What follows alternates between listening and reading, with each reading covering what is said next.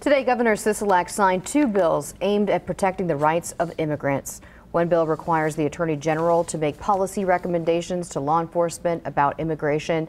It also limits immigration enforcement at public schools, colleges, some healthcare centers, and state and local government facilities. The other bill focuses on students who are learning English as a second language. It requires schools keep track of the resources going to those students and inform those students of their right to an education.